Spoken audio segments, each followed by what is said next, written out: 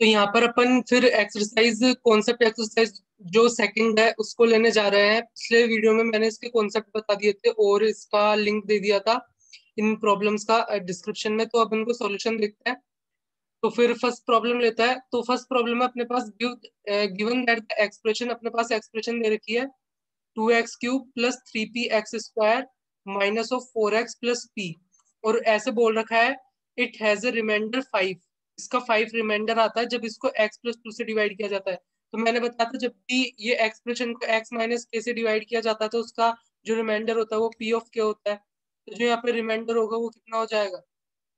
P of minus to तो यहाँ पे एक्स की जगह ये पोलिनोमियल है जिसको मैं पी बोल रहा हूँ। ये पी और पी अलग अलग ये पो, ये पोलिनोमियल है। इसको मतलब यहाँ पे जेड भी लिख सकते हो।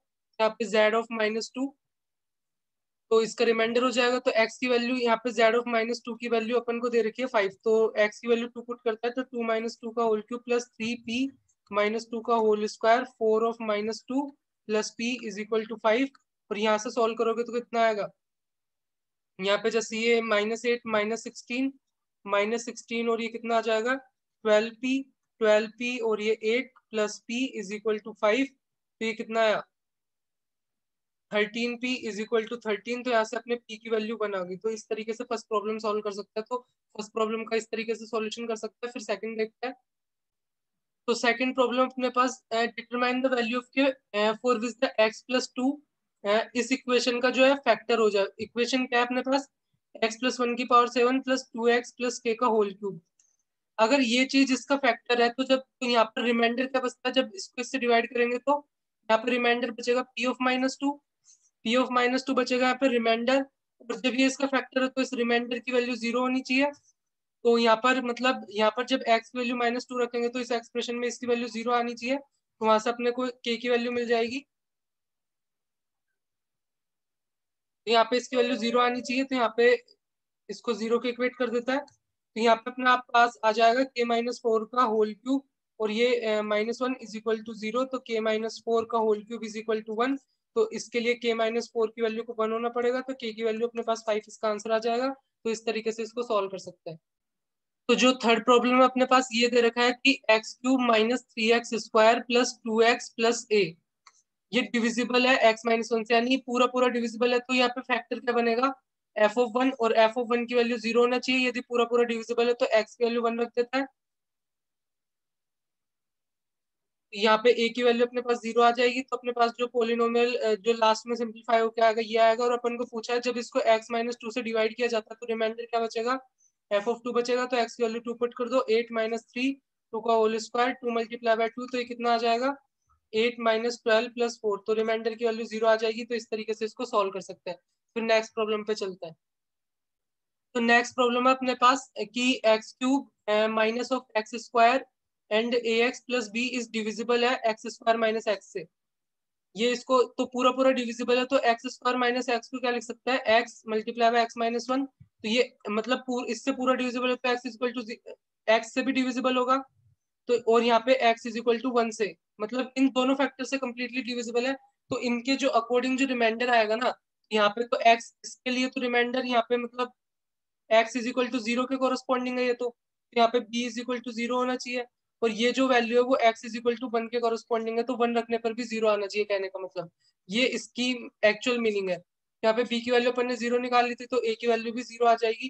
तो ए और बी की वैल्यू यहाँ पे ज़ीरो आ गई तो अपना जो वो आ गया x cube minus x square simplify होके, और अपन को एफ़ ऑफ़ टू की वैल्यू निकालनी है। तो एफ़ ऑफ़ टू की वैल्यू निकालनी है तो यहाँ पे टू पुट कर देंगे तो फोर अपना आंसर आ जाएगा। तो ये सारे आपके मतलब तभी यूजफुल होगा जब आपने पिछला वीडियो देखा होगा, और पिछले कॉन्सेप्ट पढ़े होंगे। वहाँ पे मैंने बताया था कि जब भी मतलब एक्स स्क्वायर माइनस एक्स से कम्प्लीटली डिविजिबल हो, उसका मतलब क्या हुआ कि ये इसके हर फैक्टर से कम्प्लीटली डिविजिबल होगा, यानी इससे भी कम्प्लीटली डिविजिबल होगा, यानी मतलब कोई इससे कम्प्लीटली डिविजिबल होता है एक्स माइनस के अपना फैक्टर है तो वहाँ पे रिमाइंडर जो कि एफ़ ऑफ़ के होता है, उसकी वैल्यू ज़ीरो होती है तो यहाँ पे इसमें एफ़ ऑफ़ ज़ीरो की वैल्यू यहाँ पे ज़ीरो होगी और एफ़ ऑफ़ वन की वैल्यू ज़ीरो होगी, दोनों से दो कंडीशन है, उससे अपने पोलिनोमियल निकाला, उसमें एक्स वैल्यू टू रख के अपने इसकी वैल्यू निकाली तो इस तरीके से इसको कर सकते हैं, फिर नेक्स्ट वीडियो देख नेक्स्ट क्वेश्चन देख तो यहाँ पे लास्ट प्रॉब्लम लेते हैं। लास्ट प्रॉब्लम में क्या है? ये अपने पास इक्वेशन है। एक्स की पावर फाइव प्लस एक्स का क्यूब प्लस एक्स का square plus two is equal to zero इसके रूट है। X one x two x three x four x five और अपन को इस क्वांटिटी की वैल्यू निकालनी है। X one square minus one का मल्टीप्लीकेशन है। X two square minus one के साथ वैसे ही ये जो पूरा मल्टीप्लीकेशन है उसकी वैल्यू निकालनी है। तो अब ये जो इसके, इससे फाइव डिग्री का तो इसके फाइव रूट होंगे। और मैंने बताया था कि जब भी ऐसा दे रखा हो तो इसको इस फॉर्म में लिख सकता है। X minus x one x minus x two जो भी इसके रूट है, उन सब के ऐसे मल्टीप्लीकेशन के फॉर्म में लिख सकता है। और यहाँ पर जो कोफिशियंट आता है, यहाँ पे जैसे एक्स की पावर फाइव का कोफिशियंट वन है तो यहाँ पर वो वन ही आएगा, क्योंकि इनको मल्टीप्लाई करेंगे तो डायरेक्ट एक्स की पावर फाइव ही आएगा। तो यहाँ पे जो कोफिशियंट वन जो आएगा, उसकी वैल्यू वन ही होगी। तो ये सिंपल है समझने की चीज़। अब उसके बाद यहाँ पर क्या करेंगे? एक्स की वैल्यू वन पुट कर दो तो वन पुट कर दो इस इक्वेशन में तो क्या आएगा? One minus x one multiply by one minus x two multiply by one minus x three multiply by one minus x four multiply by one minus x five. इधर one value put करेंगे तो कितना आएगा? यहाँ पे five आ जाएगा। Five आ जाएगा तो मैं फिर आगे देखते हैं इसमें। फिर x is equal to minus one put करता है तो x is equal to minus one put करेंगे यहाँ पर इस एक्सप्रेशन की वैल्यू क्या आएगी? Minus one minus x one minus one minus x two minus one minus x three minus one minus x four and minus one minus x five और इधर minus one put करेंगे तो कितना value आएगा इसका?